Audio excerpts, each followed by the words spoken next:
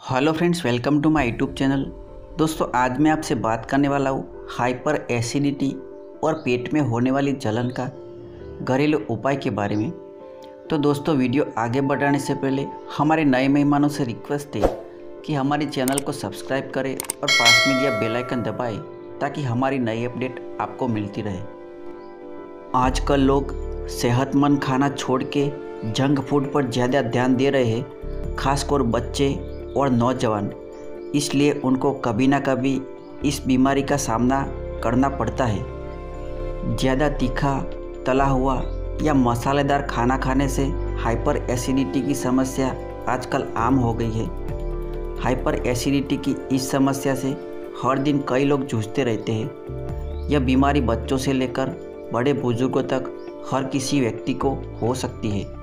देखा जाए तो हाइपर एसिडिटी एक सामान्य समस्या है।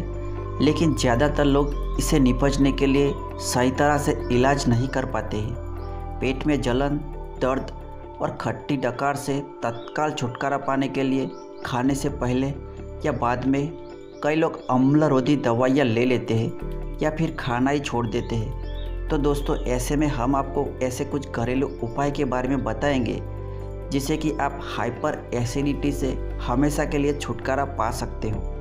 सौफ और मिश्री से आप कैसी भी हाइपर एसिडिटी से छुटकारा पा सकते हो।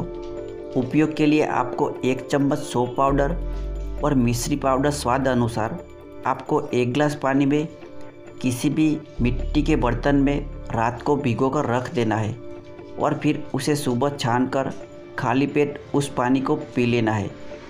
ध्यान रहे, उसके बाद आपको आधा घंटा तक कुछ भी खाना पीना नहीं है। ऐसा कुछ दिनों तक करने से आपकी कैसी भी हाइपर एसिडिटी की परेशानी से छुटकारा मिल जाएगा।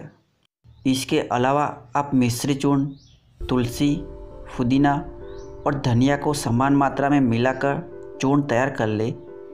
इस मिश्रण को आप खाने से पहले या बाद में आधा चम्मच ले सकते हैं। इसे आपके पेट में होने वाली एसिडिटी और जलन से छुटकारा मिल जाएगा।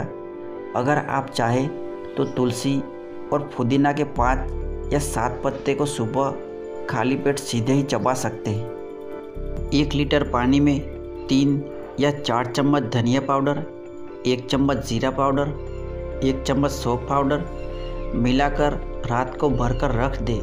सुबह उस पानी को गर्म कर छान ले और ठंडा होने के बाद आप उस पानी को पी सकते हैं।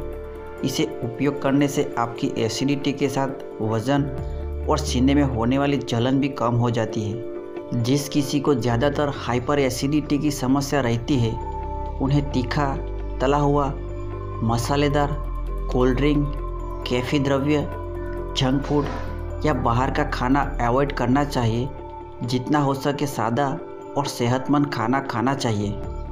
तो दोस्तों, आज के लिए बस इतना ही। अगर जानकारी अच्छी लगी तो हमारी चैनल को सब्सक्राइब करें और पास में दिया बेल आइकन दबाएँ। ताकि हमारी नई अपडेट आपको मिलती रहे। तो चलिए दोस्तों, मिलते हैं एक नए टॉपिक के साथ। तब तक के लिए नमस्कार।